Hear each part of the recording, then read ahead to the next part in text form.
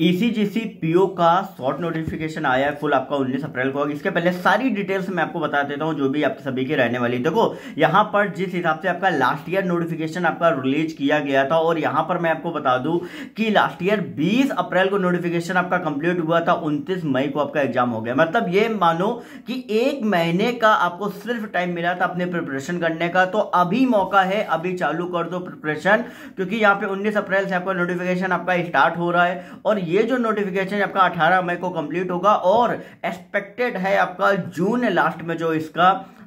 exam है वो आपका कंडक्ट हो सकता है और इनके एग्जाम बहुत जल्दी कंडक्ट होते हैं तो जितने भी स्टूडेंट जो कहीं ना कहीं आप प्रिपरेशन कर रहे हो अभी से ही लग जाओ ज़्यादा टाइम नहीं बचा हुआ है सारी डिटेल्स आपको इसी चीज पी की प्लेलिस्ट में मिल जाएगी बाकी जो भी क्वेरी हो इंस्टाग्राम पर सरकारी नौकरी वाले बाबा टाइप करके पूछ सकते हैं टेलीग्राम ग्रुप को ज्वाइन कर लेना सारी पीडीएफ आपको वहीं मिलेंगी